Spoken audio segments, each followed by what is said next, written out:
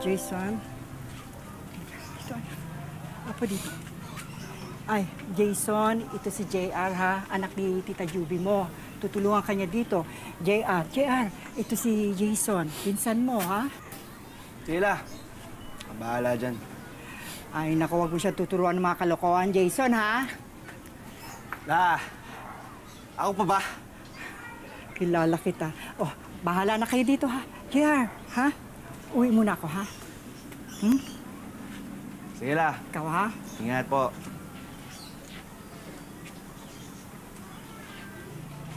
Ikaw pala yung pinsan kong Abnoy eh, ha? Sige. Ganito ang gawin natin, ha? Tutulungan mo ako sa trabaho ko. Okay? O sige na. Trabaho na tayo.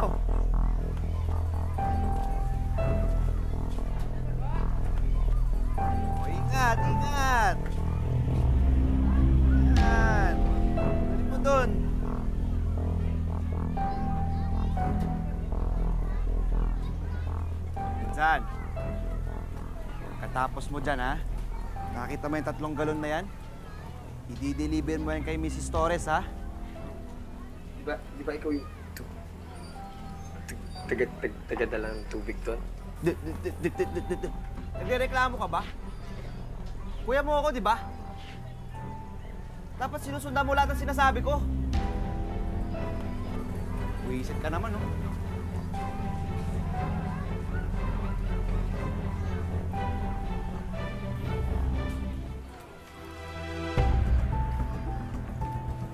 Uy, Insan! Wala kami pera. I, i- ipon ko. Para pag balik nanay, may pera. Ah, Insan. Baka... Pwede mo naman ako pautangin. Kasi... Nubo ako eh.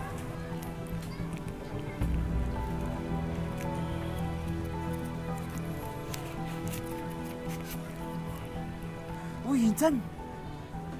Salamat ha. The best ka talaga. Promise, babalik ko to sa'yo. Oh, bili mo na ako ng gamot ha. Sige, saka muna.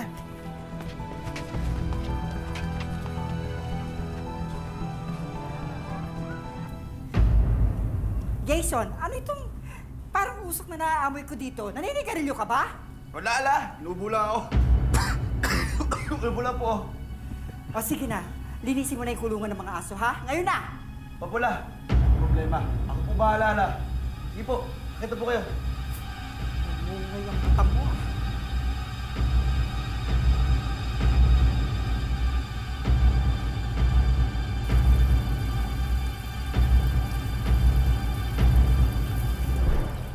Insan! Insan! Bilisin mo daw maigi yan, ha? Aminin ni Lola, wala daw matitira na kahit dumi dyan. Uy! Usap kita. Baho? Pasok ka sa loob, bilisin mo maigi, dili. Oh, eh, no. Kita mo yung dumi dyan, oh. Ayan pa, oh. Dili, pasok sa loob. Dili na. Yan, bilisin mo dyan sa loob. Yan, yan. Dito, dito, oh. Dito. Dito.